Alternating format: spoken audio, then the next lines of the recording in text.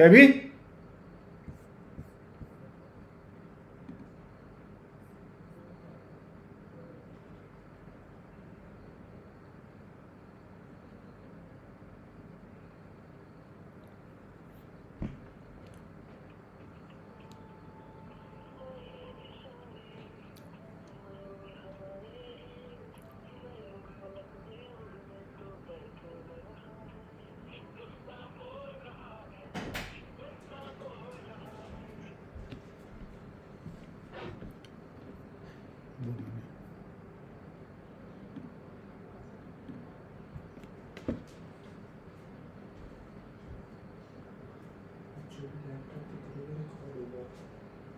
कैबी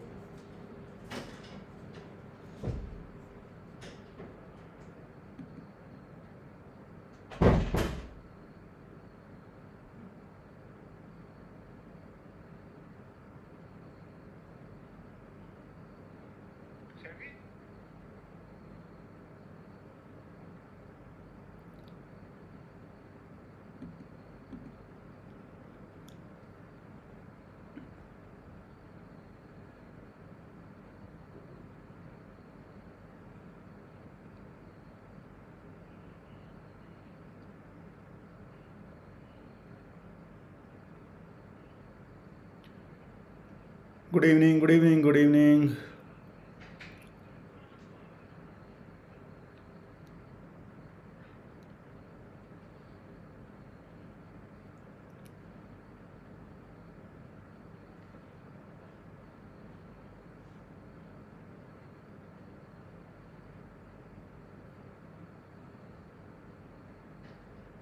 Good evening, good evening. Send me hello.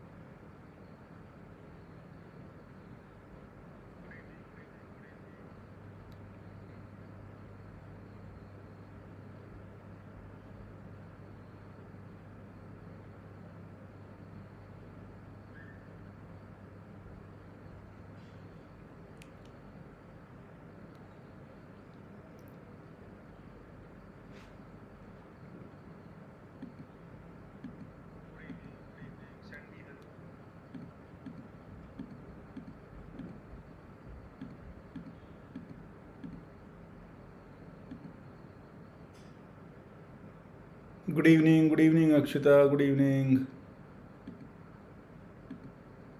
I'm waiting for some more people to join.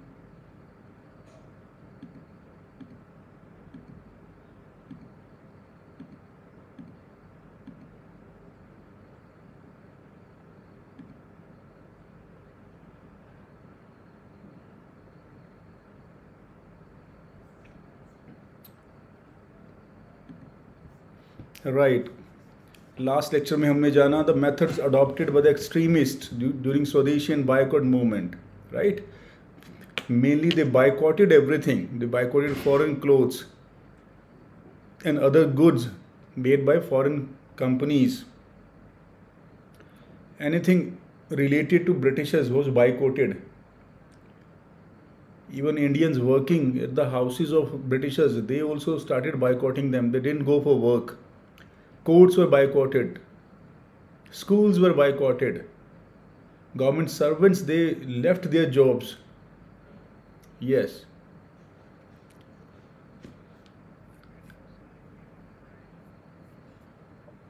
And public meetings were organized. Why do we organize public meetings? For the mass mobilization. Opinion, public opinion is created. Right, right. Welcome everyone. Hello, भेजते रहिए समितियाँ बनाई गई।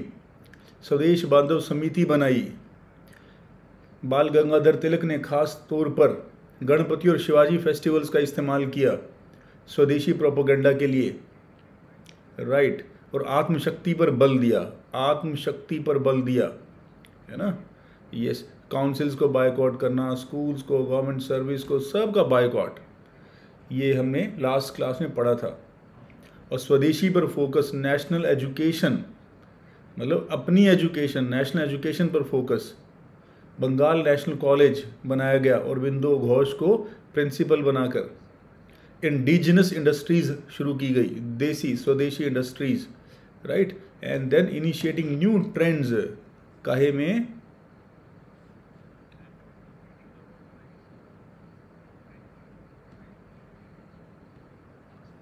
initiating new trends.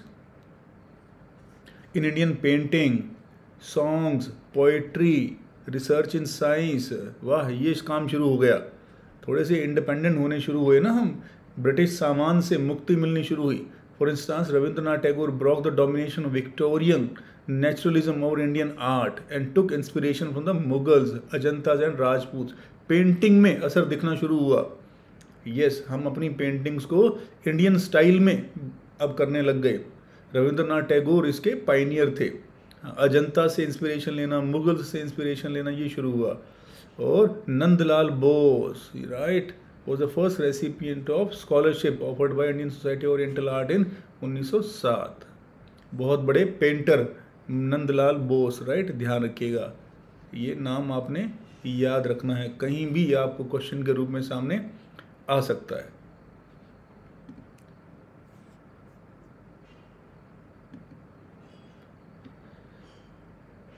Right right, आगे पढ़ते हैं। Anti partition movement from 1903 से 1905 under moderates was led by Surendranath Banerjee Prithwish Chandra Roy and K K Mitra ये तीन नाम आपने याद रखने हैं। Surendranath Banerjee Prithwish Chandra Roy and K K Mitra right they included methods like organising public meetings yes public meeting organise करते थे। हाँ ये मॉडरेट्स के मेथड हैं, ध्यान रखना राइट हाँ शुरुआती वाले, शुरू के दिनों वाले। Sending petitions and memoranda yes organising propaganda through pamphlets and newspapers pamphlet छोटे छोटे पर्चे जो होते हैं, वो सब तक पहुंचाना, उसमें अपनी बातें लिख के पहुंचाना। न्यूज़पेपर्स के थ्रू काम करना राइट पेटिशंस देना, अर्जियाँ देना अंग्रेज़ों को मेमोरेंडम देना, मांग पत्र देना बार बार पब्लिक मीटिंग्स ऑर्गेनाइज करना। मतलब सब कुछ मॉडरेट्स क्या कर रहे हैं? सब कुछ संविधान के दायरे में। हाँ कुछ भी ऐसा ना करें जिससे ब्रिटिश नाराज़ हों।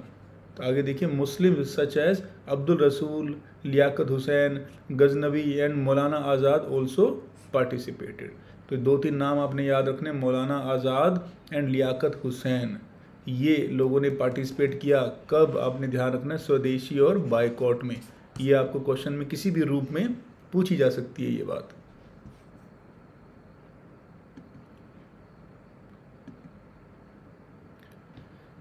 चलिए, अब सवाल ये खड़ा होता है कि स्वदेशी मूवमेंट डिक्लाइन क्यों कर गई? 1908 आते आते। क्यों डिक्लाइन कर गई? राइट हम ये जानते हैं सबसे बड़ा कारण डिक्लाइन का था बाल गंगाधर तिलक का अरेस्ट होना। उनके ऊपर जो देशद्रोह के मुकदमे लगाए गए, उनसे आंदोलन की ही कमर टूट गई। हाँ और गवर्नमेंट ने बहुत निर्मम तरीके से, निर्दयी तरीके से दमन किया। तो पहला पॉइंट है सवियर गवर्नमेंट रिप्रेशन बहुत ही सख्त रूप से, निर्दयी रूप से हमारा दमन किया गया रिप्रेशन किया गया। किसका? उस आंदोलन का, स्वदेशी और बायकॉट का। फिर सबसे बड़ी दिक्कत और क्या थी? हमारे पास कोई ऑर्गेनाइजेशन नहीं थी, एक डिसिप्लिन फोर्स नहीं था। ये भी साइमल्टेनियस ही ऑर्गेनाइज आंदोलन पैदा हो गया था। हमने कोई बहुत प्लानिंग करके ये आंदोलन थोड़े खड़ा किया था। हो ही गया था बस, क्योंकि बहुत सालों से हम भी भरे पड़े थे। अट्ठारह के बाद से हमें भी कोई मौका नहीं मिल रहा था, कोई बहाना नहीं बन रहा था। अब ये बहाना बना है हमारी अपनी भावनाओं को बाहर एक्सप्रेस करने का और एजिटेशन करने का। लेकिन हमारे पास कोई इफ़ेक्टिव ऑर्गेनाइजेशन और डिसिप्लिन फोर्स नहीं था। हालाँकि ऑर्गेनाइजेशन तो उस वक्त कांग्रेस थी तो मन में सवाल आएगा कि सर ऑर्गेनाइजेशन तो थी हमारे पास तो ध्यान करना हमने शब्द यूज़ किया है इफ़ेक्टिव तो क्या कांग्रेस इनफेक्टिव थी? देखिए, हम ऐसा नहीं कह सकते कांग्रेस इनफेक्टिव थी, पर ब्रॉडली जो एजिटेशन के तौर तरीके थे, कांग्रेस मॉडरेट धड़ा कांग्रेस का, जो कांग्रेस को डोमिनेट कर रहे थे, वो बहुत ज़्यादा सहमत नहीं थे। हाँ तो इसलिए कांग्रेस ने बहुत एक्टिवली इस आंदोलन को चलाया हो, ऐसी बात नहीं है। नहीं है है ना? 1905-6 तक तो फिर भी हम मानते हैं कि चलिए, थोड़ा सा कांग्रेस के बैनर के नीचे हम चलते रहे। लेकिन ख़ास तौर पे 1906 के बाद, सात के बाद, कांग्रेस के विभाजन के बाद तो बिल्कुल ही ऑर्गेनाइजेशन की कमी महसूस होने लगी। ख़ास तौर पे सूरत स्प्लिट हुआ जब कांग्रेस का विभाजन हो गया। देखो, कांग्रेस ही आंदोलन चला रही है और कांग्रेस का ही विभाजन हो गया तो आप सोच सकते हो, आंदोलन ने तो धीरे धीरे फिजल आउट फिजल आउट, हवा निकलनी है, यस, और निकल गई। बिल्कुल, होना ही था, इतनी बड़ी पार्टी। है ना? ऑर्गेनाइजेशन इतनी बड़ी आंदोलन को चला रही है 1905-6 जैसे भी चला रही है है ना? जब बहुत गर्म जोशी से ना चला रही है, पर बैनर तो कांग्रेस का ही था ना? वो भी टूट गई। चाहे विचारों में मतभेद था, पर थे तो एक ही कांग्रेस के बैनर के नीचे। तो चाहे विचारों में मतभेद था, चाहे बड़े नाजुक धागे से बंधे हुए थे, पर बंधे तो हुए थे ना? लेकिन अगर वो धागा टूट गया और कांग्रेस के दो टुकड़े हो गए, फिर तो आप समझ सकते हो जो वर्कर्स हैं, उस वक्त जो एजिटेट कर रहे थे, उनके मन में भी दुविधा पैदा होनी शुरू हो जाती है। तो आंदोलन ये सब एक तरह से लीडरलेस हो जाते हैं। जब लीडरलेस आंदोलन हो जाता है तो आप समझ सकते हो इसकी दिशा भी कोई निर्धारित नहीं रहती, भटकने भी शुरू हो जाते हैं। और जब भटकने शुरू हो जाते हैं ऑर्गेनाइज नहीं रहते तो सरकार के लिए दबाना और आसान हो जाता है। और वैसे ही सरकार ने किया, बहुत बुरी तरह से दमन किया, दबाया राइट पहला कारण। दूसरा ये है lack of effective organisation and discipline force भी नहीं था अपने पास राइट कांग्रेस वर्कर्स ये उतने तरीके डिसिप्लिन नहीं थे जितने बाद में हुए, गांधी जी के नीचे। हाँ। तीसरा पॉइंट है with the arrest and deportation of all the leaders deportation क्या होता है? दूर दराज जब भेज देते हैं लीडर्स को डिपोर्ट कर देते हैं दूसरी जगहों पर। The movement was left leaderless और ख़ास तौर पे यहाँ आपने ध्यान रखना है, बाल, गंगा, धर, तिलक, इनका नाम विशेष रूप से यहाँ मेंशन किया जा सकता है कि इनके जाने के बाद खासतौर पे 1908 में इनके अरेस्ट के बाद ये आंदोलन लीडरलेस हो गया, जब उनके ऊपर सेडिशन देशद्रोह का मुकदमा चलाया गया।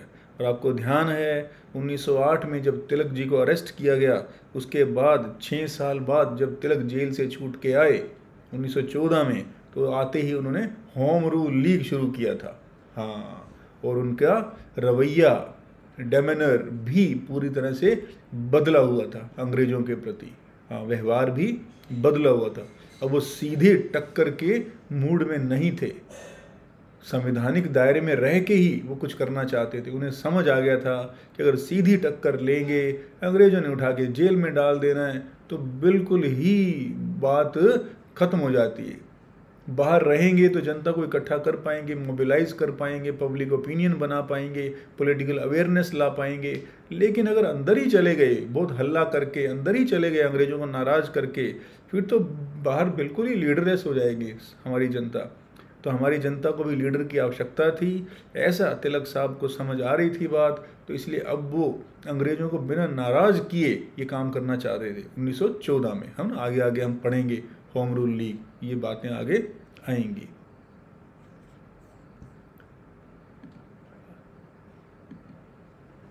चलिए, और ये और कारण पढ़ रहे हैं हम लोग कि किस कारण ये मूवमेंट फिजल आउट हुआ और स्प्लिट हो गया जो कांग्रेस का राइट कांग्रेस का स्प्लिट होने का कारण आप समझते ही हैं। सब आप लोगों ने बार बार इतिहास में ये चीज़ें पढ़ी हुई हैं। फिर भी मैं आपको रिवाइज करवाता हूँ। मोटे तौर पे हमारे मॉडरेट्स, ये लीडर्स, ये चाहते थे कि आप अब अंग्रेज़ों को बहुत ज़्यादा नाराज़ ना करो। स्वदेशी बायकोट आपने शुरू कर लिया है, इस आंदोलन को बहुत ज़्यादा ना फैलाओ। लेकिन जो एक्सट्रीमिस्ट गुट था कांग्रेस के अंदर ही, इनका ये कहना था कि जनता अब जाग गई है। जनता उठ खड़ी हुई है, खासतौर पे बंगाल की जनता, और इस आंदोलन को देश के कोने कोने में ले जाया जाए। वेयर एज मॉडरेट्स का ये कहना था कि अभी देखिए, बंगाल के मामले में तो जनता जागृत है, क्योंकि बंगाल विभाजन का मामला है। लेकिन आप इस आंदोलन को देश के दूसरे प्रांतों में और दूसरे वर्गों एरियाज़ में लेके जाओगे रीजन्स में लेके जाओगे तो शायद आपको वो रिस्पॉन्स नहीं मिलेगा। सेकेंडली आप यहाँ तक तो अंग्रेज़ी लोग बर्दाश्त कर रहे हैं, क्योंकि बंगाल विभाजन के कॉन्टेक्स्ट में हम लोग विरोध कर रहे थे, आंदोलन कर रहे थे। लेकिन दूसरे प्रांतों में जाके अगर हम विरोध करेंगे तो अंग्रेज़ों को एक अच्छा खासा बहाना मिल जाएगा हमें बुरी तरह से दबाने का। इसलिए मॉडरेट लीडर्स इस आंदोलन को, स्वदेशी बायकॉट को पूरे देश में फैलाने के विरुद्ध थे। हाँ और एक्सट्रीमिस्ट चाहते थे कि देश जाग चुका है, इस आंदोलन को पूरे देश में फैलाया जाए। और अगर देश जागा नहीं भी है तो इस आंदोलन के थ्रू ही देश जागेगा। ये मेन पॉइंट था कन्फ्रंटेशन का, दोनों के बीच में, दोनों धड़ों के बीच में, आप जानते हो ये बातें, है ना? लेकिन ध्यान रखना, ये इमीडिएट कॉज बना। इससे पहले झगड़े टेंशन तनातनी होती रहती थी। हाँ बिल्कुल। ये तो इमीडिएट कारण बना। यस इस बात पर तो अलग ही हो गए ना? बिल्कुल। तो 1907 में सूरत में जो कांग्रेस का अधिवेशन बुलाया गया, आप समझते हो ना अधिवेशन क्या होता है? ध्यान रखना हाँ good evening Simran, good evening, welcome. अधिवेशन क्या होता है? हर साल कांग्रेस ने साल में एक बार सभी कांग्रेस के वर्कर सब इकट्ठे होते थे एक जगह। एक सेशन बुलाया जाता था, जिसमें जितने भी लोग कांग्रेस के साथ जुड़े हुए हैं इंक्लूडिंग ऑफ़िस बेरर्स वो सब वहाँ पहुँच के अपने लीडर्स की बातें सुनते थे और हमारे लीडर्स आगे के लिए आंदोलन के एजेंडाज सेट करते थे। अगर कोई इमीडिएट फ्यूचर में आंदोलन करना है तो उसका एजेंडा सेट करना। अगर ऐसा नहीं भी है तो भी आह्वान करते थे कि हम लोगों को किस तरह से अपने यहाँ लोगों के साथ मिलजुल के काम करना और पॉलिटिकल अवेयरनेस लेके आनी है और किस तरह से अंग्रेज़ों को हमने अपनी बातें पहुँचानी है अंग्रेज़ों तक। तो शुरुआती सालों में तो कांग्रेस ने यही लोगों का आह्वान किया। इसलिए हर साल कांग्रेस का अधिवेशन होता था, जहाँ पर हमारे प्रेसिडेंट भी चुने जाते थे। यस, अब आया 1907 का अधिवेशन। राज बिहारी बोस राज बिहारी बोस हाँ if I am not wrong Bose, Ghosh और बोस में कंफ्यूजन ध्यान रखना। तो ये अधिवेशन चल रहा था। और हम जानते हैं मॉडरेट्स और एक्सट्रीमिस्ट दोनों एक दूसरे से टेंशन में तो थे, नाराज़ तो चल ही रहे थे। तो बहुत जनता बैठी है स्टेज पर बड़े बड़े लीडर्स बैठे थे। यस एक्सट्रीमिस्ट भी हल्ला किए हुए थे। क्योंकि देखो एक्सट्रीमिस्ट थोड़े से यंगस्टर्स थे, थोड़े गर्म टाइप थे तो हल्ला उधर से ज़्यादा होता है। और बुज़ुर्ग लोग आप समझते हो, हल्ले वगैरह से नाराज़ होते हैं। तो थोड़े से नाराज़ तो थे ही कि आप बहुत शोर करते हो, बहुत हल्ला करते हो, अपनी बातें ज़बरदस्ती मनवाते हो। ये ऐसी बातें तो कई दो चार सालों से चल ही रही थी। तो मॉडरेट्स थोड़े थोड़े नाराज़ तो रहते ही थे। तो फिर बातचीत शुरू हुई उसी मुद्दे को लेकर कि भैया, इस आंदोलन को हम देश के दूसरे कोनों में भी लेके जाएँ तो सब अपने अपना विचार दे रहे थे। तभी किसी ने नीचे से जूता उठाकर स्टेज की तरफ़ मारा और उस जूता फिरोज शाह मेहता को जाके लगा। अरे भगवान। मतलब ये तो हद ही हो गई। मतलब लीडर को, इतने बड़े लीडर को नीचे से कोई जूता फेंके। और उसके बाद तो आप समझिए कि सब्र का बाँध टूट गया। तो मॉडरेट्स ने भी अनाउंस कर दिया कि बस, बहुत हुआ, ख़त्म हुआ बस। अब जाइए बस, निकल जाइए कांग्रेस में से। उसके बाद कांग्रेस दो टुकड़ों में बट गई। एक्सट्रीमिस्ट की कभी हिम्मत ही नहीं हुई कि दोबारा से उन लोगों के साथ जाके मिलें, क्योंकि बात ही इतनी खतरनाक हो गई थी, आपने अपने रिस्पेक्टेड लीडर की तरफ़ जूता उठाकर दे मारा था। और मॉडरेट्स भी एक्सट्रीमिस्ट से बुरी तरह नाराज़ थे। एक्सट्रीमिस्ट भी नाराज़ थे, लेकिन थोड़ी सी शर्म भी थी कि किस मुँह से हम लोग जाके मिले। अब ये नहीं होता कि वो जूता किसने मारा, किसने नहीं मारा, बस माना ये जाता है कि एक्सट्रीमिस्ट की तरफ़ से ये जूता आया। राइट तो आपने ये भी बात भी ध्यान रखनी है कि जूता फेंकने की परंपरा अपने देश में हाँ बहुत पुरानी चली आ रही है। तो उसके बाद से 1907 में कांग्रेस का विभाजन हो गया। और जो आंदोलन चल रहा था, अब हम सोच के देखें ना, ये तो थोड़े से पर्सनल ईगो वाला मामला हो गया। हाँ तो इतना बड़ा आंदोलन है, देश हित की बात है, बंगाल विभाजन की बात है तो हमारे पर्सनल ईगो के आगे वो आंदोलन कहाँ गया? वो आंदोलन तो कमज़ोर पड़ गया। हाँ उसके बाद से ही ये आंदोलन कमज़ोर पड़ना शुरू हुआ। तो आइए, स्लाइड पढ़ के देखते हैं, स्लाइड क्या कहती है। Split in nationalist ranks, as in 1907 at Surat, split हुआ। The moderates and extremist split. ये, इसको ये, split in national ranks, full stop. As in 1907 in Surat, the moderates and the extremists split. One of the major reasons behind moderate extremist split was difference in ideology तो आपसे पूछा जाएगा पहले broadly आपने बताना है कि डिफरेंस इन आइडियोलॉजी राइट ये वो कारण कि वो आंदोलन को यहाँ तक रिस्ट्रिक्ट करना चाहते थे वो तो था ही था पर ब्रॉडली भी ध्यान रखना डिफरेंस इन आइडियोलॉजी था ये मेन पॉइंट है अगर आपसे पेपर में सवाल आए yes yes. As moderates wanted to restrict the boycott movement to the territory of Bengal only and that too to the boycott of only foreign cloth and liquor वो कहते थे सिर्फ़ विदेशी वस्त्र और शराब इसका बाइकआउट करो और सिर्फ़ बंगाल में वेयर एज एक्सट्रीमिस्ट क्या चाहते थे whereas on the other hand extremist wanted to extend the movement to all the parts of the country and include within its ambit boycott of all forms of association with the government, such as by, हर तरह का boycott करो। सिर्फ़ विदेशी वस्त्र और शराब का ही नहीं, हर तरह का। जैसे boycott of schools colleges government service legislative councils law courts and municipalities etcetera yes तो ये भी एक झगड़े का कारण बना। हाँ ये हमने कारण यहाँ डिस्कस किया है। तो टॉपिक क्या था अपना कि किस कारण स्वदेशी और बाइकआउट फिजल आउट हुआ? तो ये उसका पॉइंट ये बनेगा split in national ranks split के बाद वो आंदोलन कमज़ोर पड़ना शुरू हुआ। और क्या कारण था? नैरो सोशल बेस हाँ द मूवमेंट वॉज़ लार्जली मतलब नैरो सोशल बेस मतलब सामाजिक रूप से समाज के कम वर्ग जुड़े हुए थे आंदोलनों से। ऐसा नहीं है कि समाज का हर वर्ग जुड़ा हुआ था। देखिए the movement was largely confined to upper and middle classes, and zamindars, and failed to reach the masses, especially the peasants जो नीचे लैंडलेस मजदूर है। Kanti Singh good evening my dear good evening welcome तो जो landless मजदूर होता है, छोटा भूमिहीन मजदूर है पीजेंट ये नहीं जुड़े। और ये संख्या ज़्यादा होती है संख्या बल होता है होता है है ना? तो middle class upper middle class और जमींदार, ये थोड़े थोड़े जुड़े हुए थे। हाँ क्योंकि ये लोग अच्छे से समझ पाते थे ना, अब नीचे जो भूमिहीन मजदूर है, उसको उतनी बातें समझ नहीं आएँगी बंगाल विभाजन की, उससे डायरेक्टली जुड़ी हुई बातें नहीं थी। हाँ क्योंकि खेती के बारे में हो, जमींदारी के बारे में हो, लगान के बारे में हो, वो तो उनसे जुड़ी हुई डायरेक्ट बातें हैं। तो पीजेंट्स है, छोटा मजदूर है, किसान है, वो समझ पाता बात और आंदोलन में जुड़ता। लेकिन ये जो बातें थी बंगाल विभाजन की, इनसे तो आप जानते हो अपर मिडिल क्लास और जमींदार, क्योंकि थोड़ी थोड़ी पढ़े लिखों वाली बातें ये थी और ये उन्हीं के मतलब की ये थी। यस चलिए, आगे देखते हैं। चलो राइट ये हुआ कारण हमने देखे। तो ये क्या टॉपिक हम कर रहे थे? कि क्यों मूवमेंट है, आंदोलन है, वो कमज़ोर पड़ा? रीजंस ऑफ़ डिक्लाइन हम क्या देख रहे थे? रीजंस ऑफ़ डिक्लाइन राइट आइए, अब देखते हैं क्या खोया, क्या पाया। ये आंदोलन चला, क्या खोया, क्या पाया।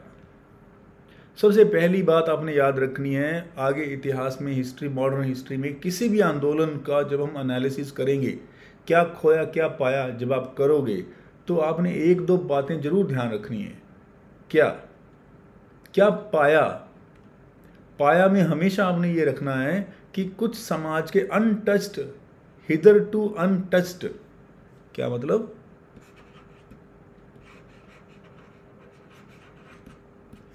Hitherto untouched sections of society भी आंदोलनों में आए। हाँ ये पॉइंट आप सब जगह डालोगे तो बात बन जाएगी कि ऐसे वर्ग जो आंदोलनों में अभी तक जुड़े नहीं थे पॉलिटिकली अवेयर नहीं, अभी तक आंदोलन तो अभी तक हुआ ही नहीं था। कि बंगाल विभाजन ही इतना बड़ा पहला आंदोलन है हिंदुस्तान का। बड़ा आंदोलन है, पर हम कहते हैं ना छोटे छोटे तो होते ही रहे थे तो कुछ वर्ग जुड़े होते थे, आंदोलनों में पार्टिसिपेट करते थे, लेकिन इसमें ज़्यादा जनता बाहर आई तो हम ये भी कह सकते हैं ना, कुछ ऐसे वर्ग भी जुड़े जो अभी तक आंदोलनों में नहीं जुड़ते थे। हाँ तो अभी तक जो अनटच्ड थे सेक्शंस वो अब जुड़े। ये इसका एक फ़ायदा हुआ। हर आंदोलन में आपने ये पॉइंट डाल सकते हो आप, हर आंदोलन में, खास तौर पे, है ना? मतलब जो आज़ादी के बिल्कुल पास है, उसका तो नहीं, लेकिन नॉर्मली हर आंदोलन में ये बात डाल सकते हो। प्लस ये भी डाल सकते हो हर आंदोलन में आपके बात, उसकी कंट्रीब्यूशन क्या है आंदोलन की, कि आगे आने वाले आंदोलनों के लिए बेस मज़बूत किया। हाँ ये भी कह सकते हैं हम लोग, बिल्कुल। चाहे क्विट इंडिया मूवमेंट की आप बात करो, उसमें भी आप ये पॉइंट डाल सकते हो कि क्विट इंडिया मूवमेंट ने क्या खोया, क्या पाया। तो हम बोलते हैं ये पाया कि आगे आने वाला जो वक्त है, उसके लिए और बेस मज़बूत कर दिया। हर आंदोलन कुछ ना कुछ मजबूती तो देगा ना? हाँ बिल्कुल। अभी हम आज़ादी की बात नहीं कर रहे थे, लेकिन 1942 भारत छोड़ो आंदोलन, तब आज़ादी की बात हो रही थी। तो आज़ादी के लक्ष्य को कुछ ना कुछ मजबूती तो उस आंदोलन ने भी दी ना?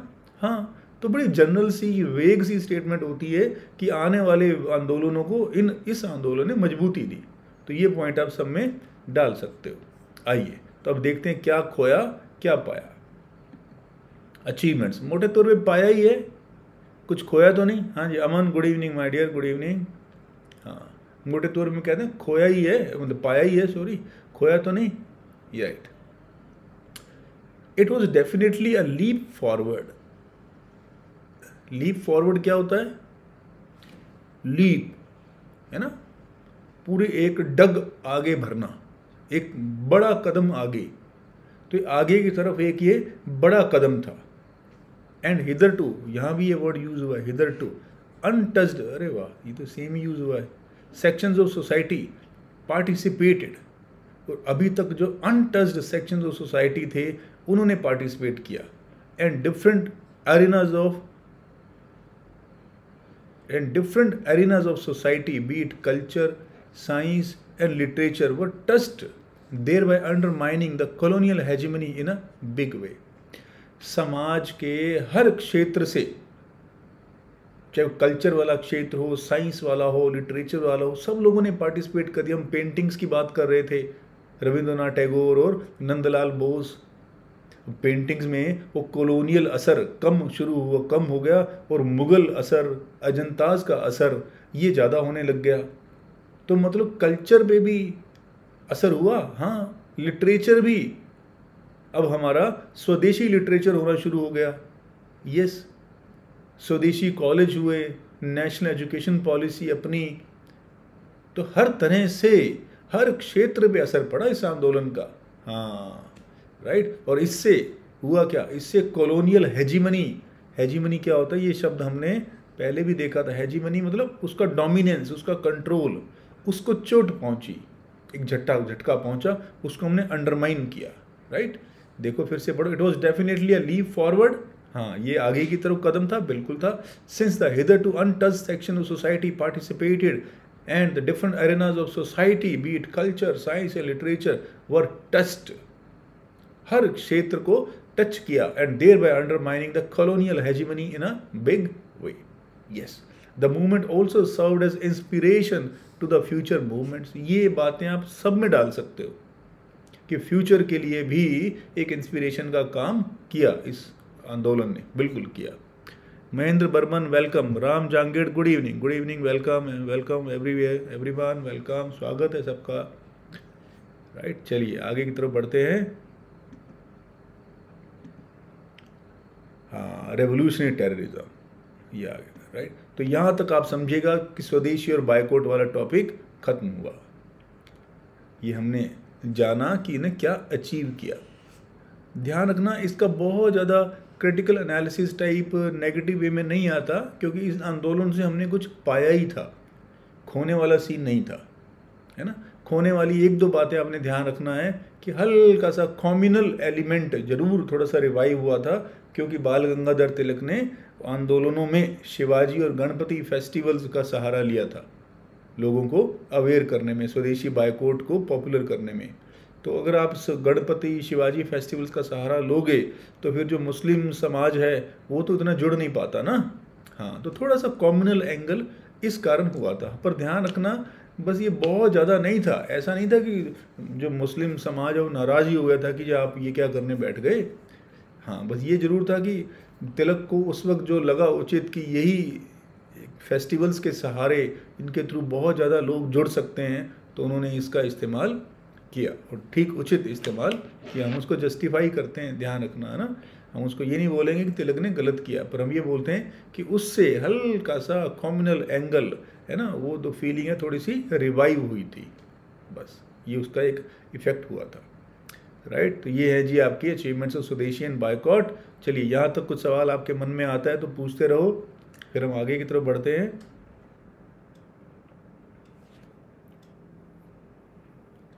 चलिए, अब हम आगे पढ़ेंगे रेवोल्यूशनरी टेररिज्म रेवोल्यूशनरी टेररिज्म अब मेरा आपसे एक सवाल है कि इस वक्त रेवोल्यूशनरी टेररिज्म रिवाइव हुआ था। ये इस वक्त क्यों रिवाइव हुआ? इस वक्त ऐसे क्या हालात बने कि रेवोल्यूशनरी टेररिज्म रिवाइव हुआ? क्रांतिकारी जो आतंकवाद है, वो क्यों रिवाइव हुआ? हाँ ये आपने ज़रूर सोचना है। रेवोल्यूशनरी टेररिज्म के दो फ़ेज़ आए हैं अपने यहाँ, आंदोलन अपनी आज़ादी की लड़ाई में। Two phases of R T revolutionary terrorism R T अब हम ये शब्द इस्तेमाल करेंगे एब्रीवेशन आर टी तो ध्यान रखना R T phase one R T phase two R T phase one ये तो अब आया 1908 1909 1910 वाले टाइम में। और आर टी टू ये कब आया? अब मैसेज भेजो, कब आया आर टी टू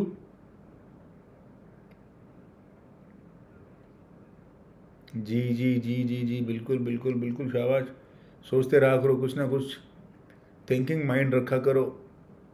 दिमाग दौड़ाना है दाएँ बाएँ। पैसिवली लेक्चर नहीं सुनना है। जो लोग भी सुन रहे हो, ध्यान रखना सिविल सर्विसेज़ कुछ नहीं है। बहुत इजी है। तो माइंड थोड़ा एक्टिव रखना है। थिंकिंग माइंड रखना है। पैसिव नहीं रखना। पैसिव माइंड क्या होता है?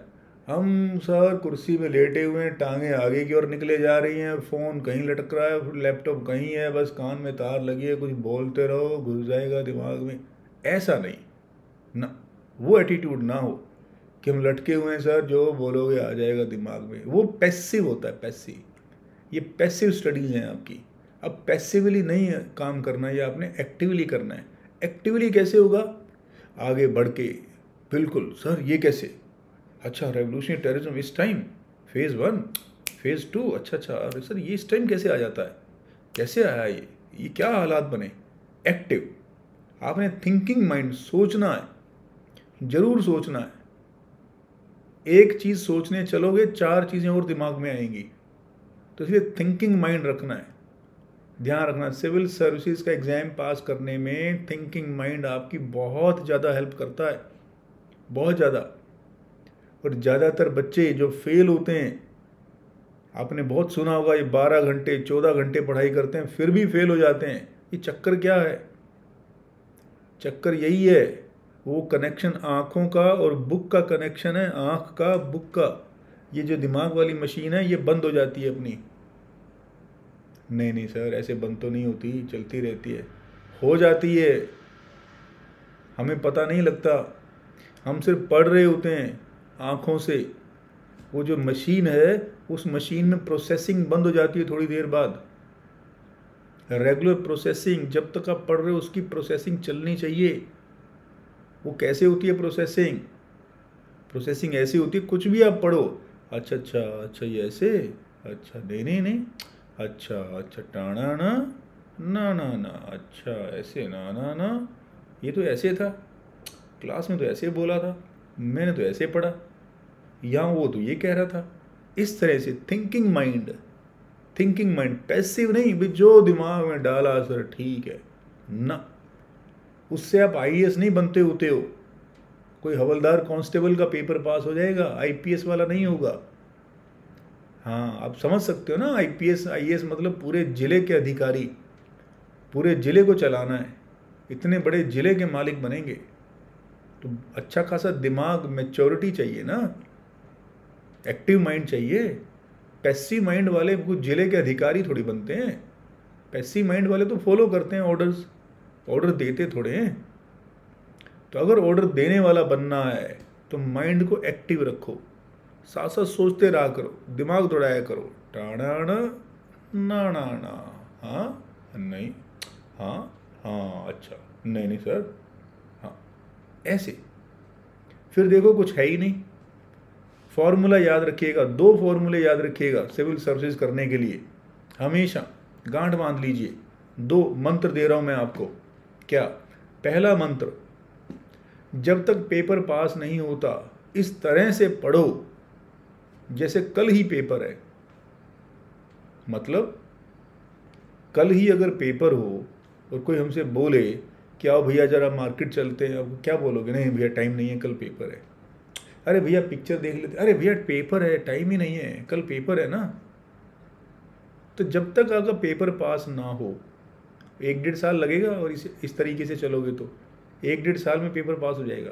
तो लगभग एक डेढ़ साल आप इस तरीके से काम करो, इस तरीके से पढ़ाई करो, जैसे कल ही पेपर है। राइट ये तो होगी क्वांटिटी काम कितना करना है? इतना करना है आपने। जितना कल पेपर होता है, किया जाता है।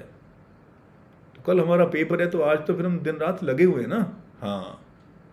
दूसरा, ये क्वालिटी के लिए। दूसरा, इस तरह से पढ़ो, जैसे यही बात आपको सेवन्थ सिक्स क्लास के बच्चे को समझानी है। इस तरह से पढ़ो। टीचर के नज़रिए से पढ़ो। कुछ भी पढ़ो, हमेशा ये सोचो कि यही बात अगर छोटे बच्चे ने पूछ ली तो मैं उसको क्या बताऊँगा? ये बताऊँगी। मान लीजिए यही है। It was definitely a leap forward since the hitherto untouch section of society आप पढ़ रहे हो तो आप अपने मन में सोचो, मुझे समझ आ गया? आ गया। अच्छा ठीक है। तो वो सिक्स क्लास वाला बच्चा पूछेगा, मैं उसको समझा पाऊँगी? कि लीप फॉरवर्ड क्या होता है? हिदर टू अनटच सेक्शंस क्या होता है? समझा पाएँगे? अगर समझा पाएँगे आप कॉन्फिडेंट हो, इसका मतलब आप ठीक चल रहे हो आप। अगर आप समझा नहीं पाओगे तो मतलब गड़बड़ है, फिर जो आप कर रहे हो, वो टाइम वेस्ट कर रहे हो। वो ठीक तरीके नहीं है। ध्यान रखना। जब तक तरीके ठीक नहीं करोगे, ये पेपर पास नहीं होगा। फिर तो आप भीड़ में ही चलते रहोगे।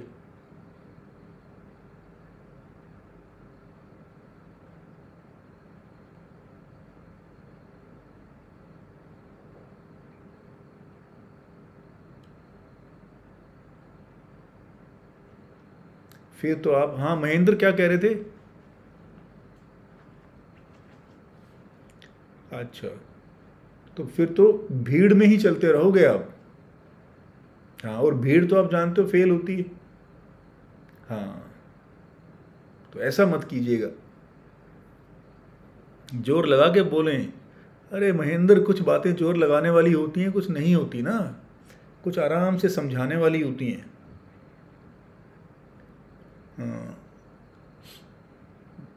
अपने अंदर ही मोटिवेशन रखो आप बस। आपके अंदर से आग जलती रहनी चाहिए। बाहर से नहीं ढूंढनी मोटिवेशन ध्यान रखना। हाँ। तो लगे रहो इस तरीके से। तो अगर इस तरीके से काम नहीं कर रहे हो तो आप ये समझना कि कुछ गड़बड़ चल रही है। हाँ। सिविल सर्विसेज़ के एग्ज़ाम कुछ नहीं है, जो आप पढ़ रहे हो, ये आठवीं, नौवीं, दसवीं की बातें हैं। जब सिविल सर्विसेज़ में पढ़ते हैं, पर तरीके अलग हैं। उन तरीकों से पेपर पास नहीं होगा जिन तरीकों से हमने आठवीं, नौवीं की है बस ये ध्यान रखना है आपने। सेम पढ़ाई है, पर तरीके डिफरेंट हैं। तो तरीके ठीक करने हैं आपने। राइट, चलिए दोस्तों, आगे बढ़ते हैं। अगले मुद्दे की तरफ़ आते हैं। हाँ रेवोल्यूशनरी टेररिज्म। तो सवाल ये है मेरा कि इस वक्त रेवोल्यूशनरी टेररिज्म क्यों पैदा हुआ? देखिए, अब बात समझो। जब भी जैसे स्वदेशी बाइकआउट बहुत बड़ा आंदोलन चल रहा है, जनता सड़कों पे है।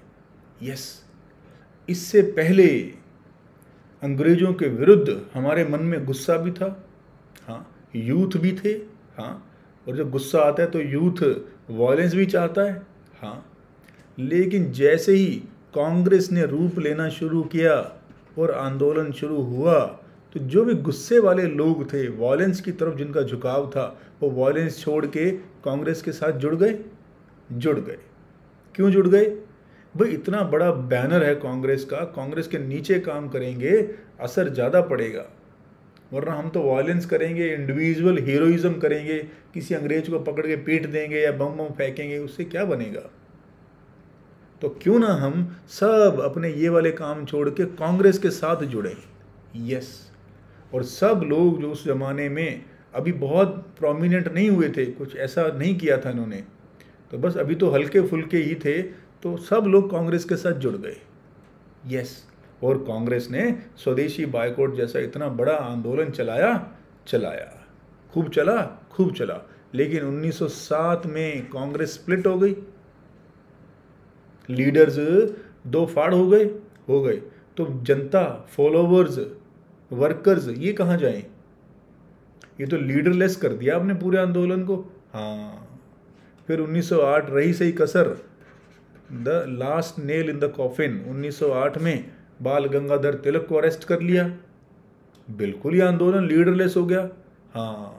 तो वो यूथ जो सब कुछ छोड़ के कांग्रेस के नेताओं के आह्वान पर कांग्रेस के साथ जुड़ा था, कांग्रेस ने ही उनको बिट्रे कर दिया कर दिया, धोखा दे दिया दे दिया तो वो यूथ को आपने मोटिवेट तो कर दिया कि आओ जुड़ो कांग्रेस के साथ।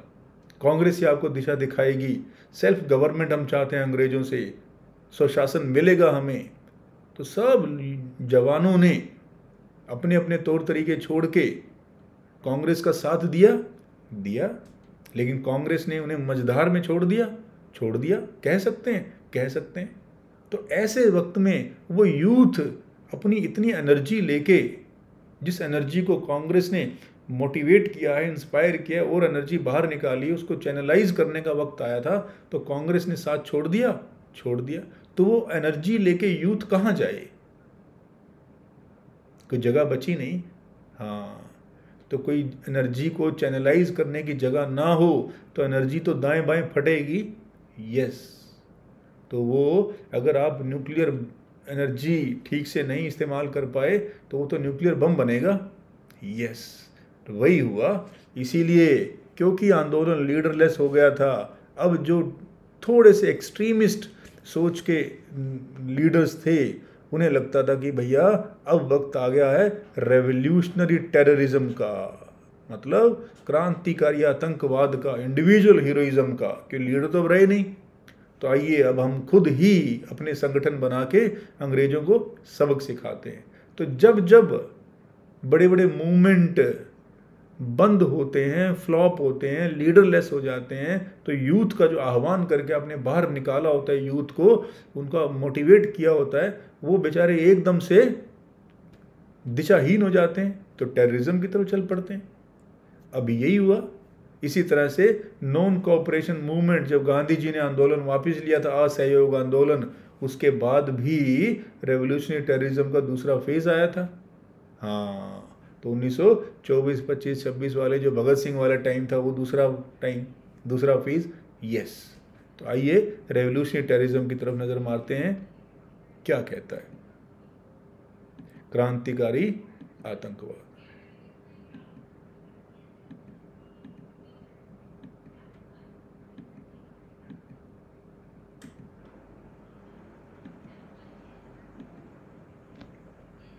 चलिए रेवोल्यूशनरी टेररिज्म तो देखिए रीजंस फॉर एमरजेंस क्यों एमर्ज हुआ?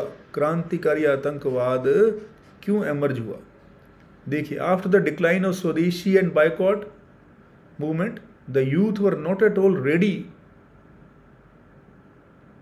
to face the continuous repression by British government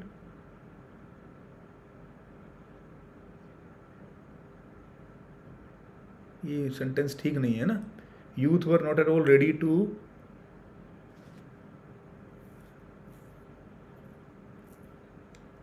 आप नॉट रेडी टू फेस कर लो हाँ या फेस या डाइजेस्ट ठीक है digest the continuous repression by the British government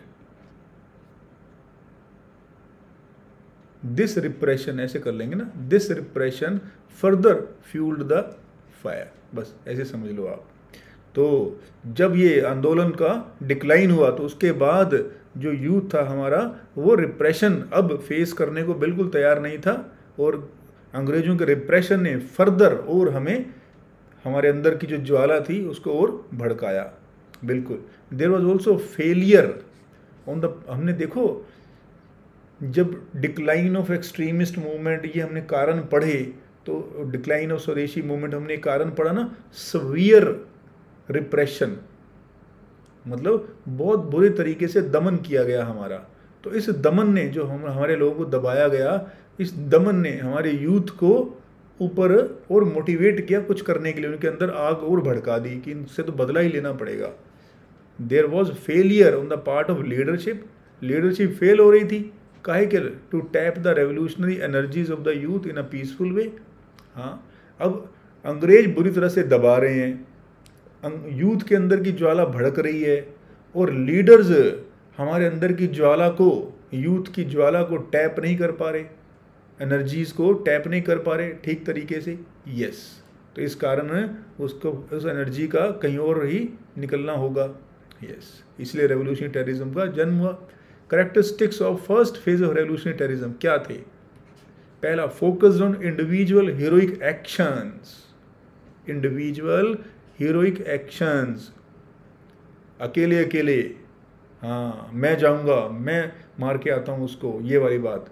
And was not a violent mass revolution right mass जनता बाहर सड़कों पे खड़ी आ गई और तोड़ फोड़ करे, ऐसा नहीं था। रेवोल्यूशनरी टेररिज्म कैसा था? इंडिविजुअल हीरोइक एक्शंस थे। हाँ इंडिविजुअली हम हीरो बनना चाहते थे। और जो अनपॉपुलर ऑफिशियल्स थे, उन पर अटैक करना चाहते थे। यस दूसरा पॉइंट क्या था? To strike terror in the hearts of the rulers तो रूलर्स के मन में, दिल में एक भय पैदा करना। हाँ। और to remove the fear of authority from people's mind yes in rulers के, की जो डर था, वो हम आम जनता के मन से निकालना। ये भी डरेंगे, इनके जो हम गोली मारेंगे, ये भी भागेंगे, ये भी चिल्लाएँगे, आह करेंगे।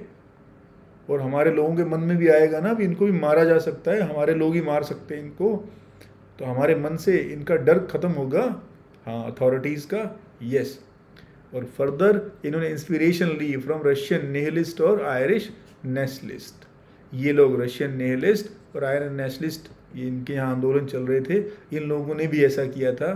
तो हमारे पहले फ़ेज़ के रेवोल्यूशनरी टेररिस्ट जो कहलाए, है ना? हालाँकि टेररिस्ट शब्द हमें इनके लिए इस्तेमाल करते हुए हल्का सा ज़बान हिलती है, हमारी, डगमगाती है कि टेररिस्ट वर्ड यूज़ कर रहे हैं हम अपने फ्रीडम फाइटर्स के लिए, जिन्होंने देश के लिए बलिदान किया। पर ये इतिहास में ऐसे ही शब्द इस्तेमाल किए गए हैं तो हम करते हैं। तो ये इनके फीचर्स रहे, ये चार फीचर्स आपने ध्यान रखने। ये पेपर में आपको आएगा प्रीलिम्स में भी आ सकता है, इनमें से ऑप्शन बना के। तो क्रूशल इवेंट्स इन्होंने क्या क्या? किया आइए, नज़र मारते हैं। 1879 में, ध्यान रखना, ये बात हम सिर्फ़ बंगाल विभाजन के बाद, स्वदेशी और बाइकोट के बाद, जो रेवोल्यूशन टेररिज्म शुरू हुआ, सिर्फ़ उसी की बात नहीं कर रहे। उससे पहले भी जो हल्का फुल्का चलता आया था, हम उनकी बातें भी कर रहे हैं। 1879 Ramosi peasant force, led by Vasudev बलन, Balwant Phadke, ध्यान रखना, Vasudev Balwant Phadke organise an arm revolt by disrupting communication lines. तो ध्यान रखना, रामोसी पीजेंट फोर्स, बस, और वासुदेव बलंत फड़के, ये नाम याद रखना, ईयर 1879 फिर 1890s में क्या हुआ? Tilak attempted to propagate militant views among the youth through his journals Kesari and Mahratta बिल्कुल, केसरी थी मराठी में और महरटा थी इंग्लिश में। And by utilising the festivals of Shivaji and Ganpati तो दो जर्नल्स हैं तिलक जी के और शिवाजी और गणपति फेस्टिवल्स के द्वारा उन्होंने ऐसा किया। Similarly in Punjab the revolutionary activity was carried out by Lala Lajpat Rai Aga Haidar, Syed Haidar Raza Ajit Singh. Ajit Singh कौन थे? भगत सिंह के चाचा। भाई परमानंद, सूफी अम्बा प्रसाद एंड लाल चंद फलक। ये कुछ नाम हैं, हल्के फुल्के नज़र ज़रूर मार के रखना।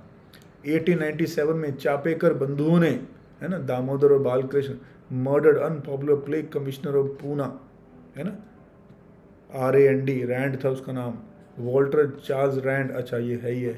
W C Rand and lieutenant Ayerst इसका मर्डर चापेकर बंधुओं ने किया। तो ऐसे ऐसे रेवोल्यूशनरी काम किए। 1899 में Mitra Mela a secret society founded by Savarkar Bandhu. Savarkar भाइयों ने बिल्कुल 1902 में revolutionary group in Midnapore right ये जहेंद्र नाथ बासु। आपने अनुशीलन समिति ये इंपॉर्टेंट है founded by Pramatha Mitter Jatindra Nath Banerjee Barindra Kumar Ghosh which was limited to giving physical and moral training to members अपने मेंबर्स को ट्रेनिंग देती थी तो अनुशीलन समिति आपने याद रखनी है इसमें ये नाम आपने याद रखने बरिंद्र कुमार घोष ये ज़्यादा फ़ेमस है 1904 में मित्र मेला मर्ज विद अभिनव भारत याद रखना आपने merge with Abhinav Bharat next 1905 में Shyamji Krishna Varma founded Indian home rule society India house in London Shyamji Krishna Varma Indian home rule society India house in London इनके प्रोमिनेंट मेंबर कौन थे? Hardayal and Savarkar. Right Lala Hardayal, ध्यान करो। कहाँ आगे आएँगे लाला हरदयाल? इनका ज़िक्र कहाँ होगा? And Savarkar, who also started a scholarship scheme to bring radical youth from India, along with starting a journal called The Sociologist. ध्यान रखना सोशोलॉजिस्ट जर्नल है लाला हरदयाल सावरकर यहाँ से यूथ को लेके जाते थे लंदन में भर्ती करते थे लंदन कनाडा बिल्कुल आंदोलनों के लिए अपने प्राणों का बिल्कुल भी चिंता मत करें। जो देश के लिए प्राण न्यौछावर करना चाहते हैं, आइए वो भर्ती हों। ऐसा आह्वान करते थे लाला हरदयाल, है ना? बाद में गदर मूवमेंट राइट आप सबने सुना है गदर मूवमेंट। चलिए, फिर 1906 में Anushilan group, Barindra Kumar Ghosh and Bhupendra Nath Datta started weekly Yugantar. Barindra Kumar Ghosh अभी पढ़ रहे थे अनुशीलन वाले। और भूपेंद्र नाथ दत्ता। क्या शुरू किया? युगांतर, याद रखना। आप इनसे भी, युगांतर से भी आपने अनुशीलन ग्रुप का नाम जोड़ के रखना है, वरिंद्र कुमार घोष। ऐसे। मैं आपको एम भी करवाऊँगा, उसमें भी अच्छे से प्रैक्टिस आपकी हो जाएगी।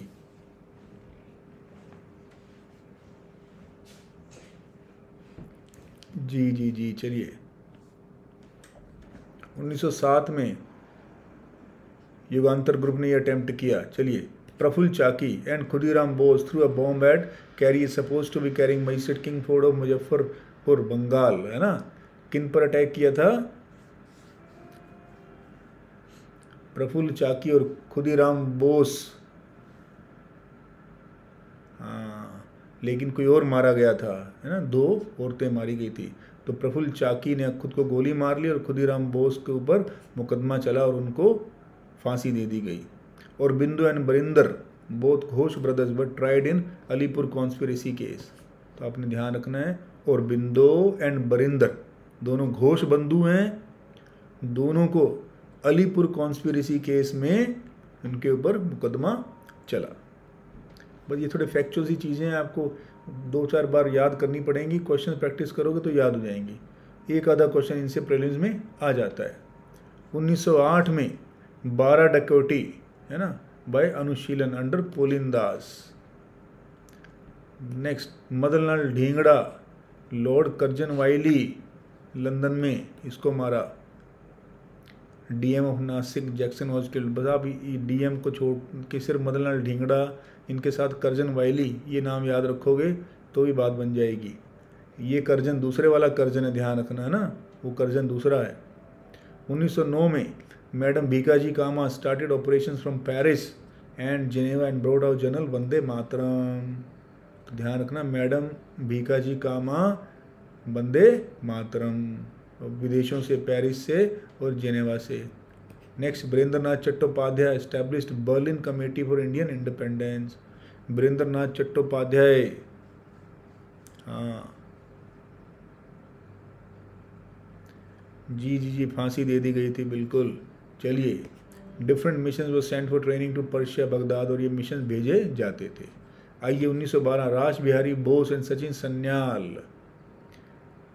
Threw bomb at viceroy Hardinge while making entry into new capital जो नई राजधानी बनाई गई थी ना हाँ 1911 में शाह राजधानी शिफ्ट हो गई थी। ये से जो आप जानते हो ना, बंगाल विभाजन का फैसला वापस ले लिया सरकार ने, एनल कर दिया था। हाँ और जब बंगाल विभाजन का फैसला एनल किया गया तो मुस्लिम नाराज़ हुए? हाँ मुस्लिम क्यों नाराज़ होंगे? भाई, जब बंगाल का विभाजन किया गया तो ये कह के विभाजन किया अंग्रेज़ों ने मुस्लिम्स को कि देखो मुस्लिम्स आपके भले के लिए किया है हमने, आपके लिए अलग हमने प्रांत नया क्रिएट कर दिया जिसमें आपकी मेजोरिटी होगी, अब आप तो सरकार अपनी बना पाओगे, आप ही रूल करोगे। लेकिन जब विभाजन का फैसला टाल दिया गया कैंसिल कर दिया गया। तो अब मुस्लिम कह रहे हैं, अंग्रेज़ों, अब बताओ, तुम तो कह रहे तुम्हारे भले के लिए किया है। तुम्हारा रूल होगा यहाँ पर, तुम मेजोरिटी में आ जाओगे। अब बताओ, हम फिर माइनॉरिटी में आ गए। तो मुस्लिम नाराज़ हुए ना अंग्रेज़ों से।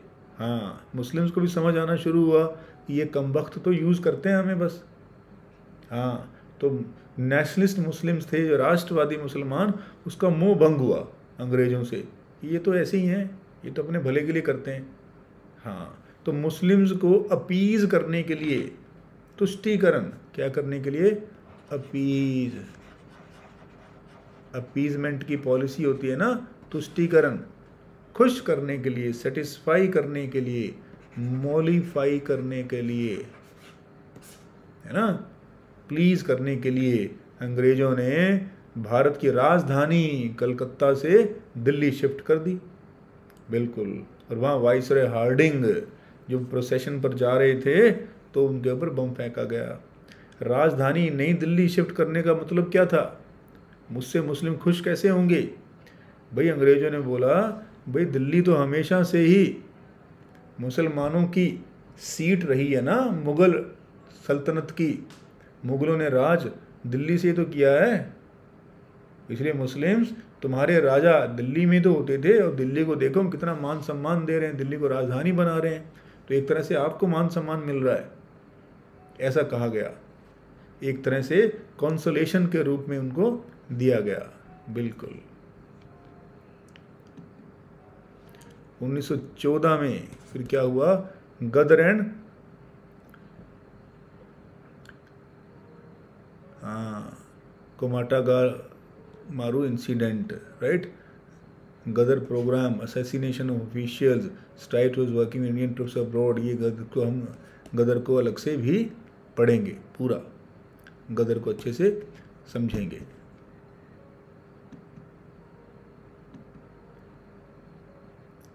कोमा गाटा मारू को भी अच्छे से, अलग से समझेंगे। फिर होम रूलिंग मूवमेंट शुरू होगा। चलिए, इसको हम नेक्स्ट लेक्चर में करेंगे।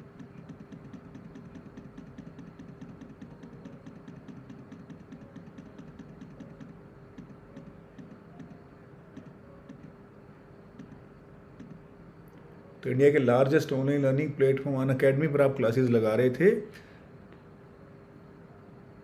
जी जी जी, करते रहो टेक्स्ट करते रहो, करो करो करो क्वेश्चन पूछते रहो, बिल्कुल।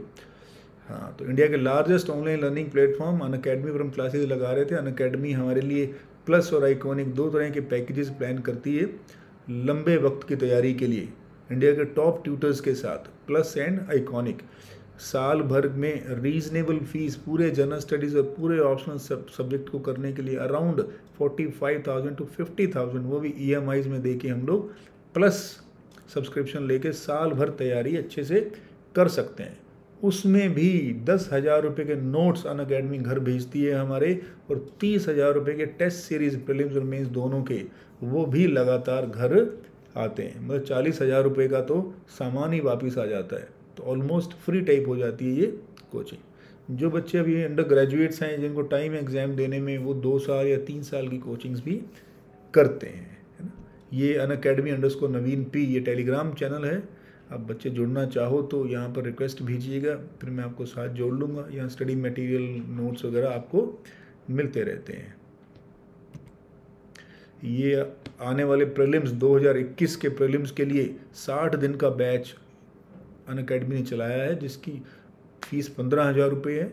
उस पर भी एन प्रूथी टेन, ये कोड लगाते हैं अगर एजुकेटर का तो टेन परसेंट डिस्काउंट उस पर करके साढ़े तेरह हज़ार रुपये में हमें खाली सिर्फ़ इतने में मिलता है। जो दूसरे प्लस पैकेज हैं, उनकी, उन पर ज़बरदस्त ऑफ़र चली रही हैं आजकल। कहाँ seventy seven thousand rupees charges होते थे साल भर के, अभी उस पर ट्वेंटी फाइव परसेंट डिस्काउंट चल रहा है। प्लस टेन परसेंट और, प्लस टेन परसेंट और, प्लस आपको कॉम्बो में नोट्स और टेस्ट सीरीज़ ऑप्शनल की प्री की मेंस की सब फ्री आपको आते ही हैं राइट ये सब फैसिलिटीज़ देते हैं और एवरी संडे कॉम्बो होता है सॉरी कॉम्बैट टेस्ट होता है, जो आप कॉम्बैट टेस्ट में अपेयर होके स्कॉलरशिप्स भी अवेल कर सकते हो। ये फाइव इन वन ऑफर्स होती हैं ना मेगा सब्सक्रिप्शन ऑफर्स हैं लोन फैसिलिटीज़ होती हैं सी एस सी अश्योर होता है दो साल की सब्सक्रिप्शन लेने पर जब तक एग्ज़ाम पास नहीं होता, हम लोग अन अकेडमी से जुड़े रहते हैं क्लासेस फ्री में लगाते रहते हैं। ये कोड लगाएँगे तो फिर मेरे साथ भी आप जुड़े रहेंगे मेंटरशिप में आप रहेंगे। मेरा नाम नवीन है, नवीन प्रूथी बेसिकली मैं मेंटरशिप ही करता हूँ। ये सब चीज़ें हमें मिलती हैं right thank you so much friends thank you God bless you all मिलते हैं। जी जी, मैं पीडीएफ मॉडर्न हिस्ट्री की दे दूँगा आपको। आप बिल्कुल चिंता मत कीजिए ये सारे पीडीएफ मैं आपको दे दूँगा। Thank you